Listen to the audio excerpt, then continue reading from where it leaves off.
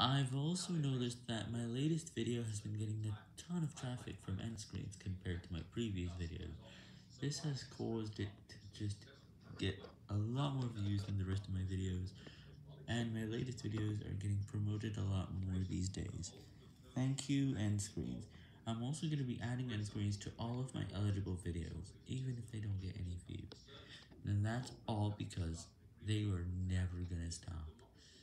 Plus, links in the description can help.